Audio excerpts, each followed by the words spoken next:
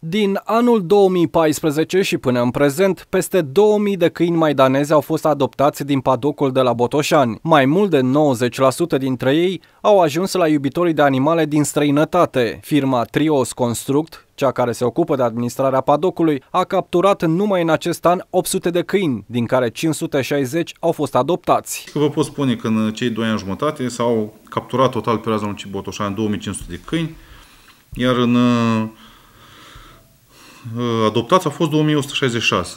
Lucru care este îmbucurător pentru că mare parte, după cum vedeți, au plecat din uh, România ne trebuie să apelăm la situații extreme. Eutanasiați în toți acești ani au fost, au fost uh, zero adopțiile, cel mai multe adopții s-au făcut de câte persoane în afara Da, 99% sunt făcute în afara țării. Firma care se ocupă de capturarea, îngrijirea și asistența medicală a câinilor maidanezi este Trio Construct, însă contractul acesteia cu administrația locală se finalizează la sfârșitul anului 2016. Directorul Eugen Țurcanu a anunțat că până la organizarea și finalizarea licitației, de gestionarea maidanezilor din Botoșan se va ocupa Direcția de Servicii Publice, Sport și Agrement. Contractul expiră la sfârșitul lunii decembrie decembrie, iar de la 1 ianuarie va trebui să demarăm procedura de a achiziționa altă firmă.